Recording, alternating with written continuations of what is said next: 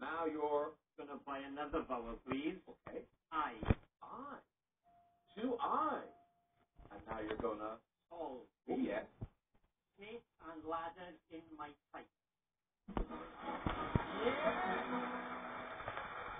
Well done. uh, at the end of that round, you banked one thousand six hundred pounds. We're adding those to the totals. Let's see how everyone's doing your life at 500 pounds. Tracy, 4,650. But we have a new leader, Adam, 5,400 pounds.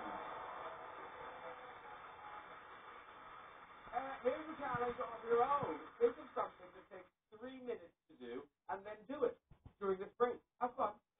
We will do nothing. What can you spend? Oh, no.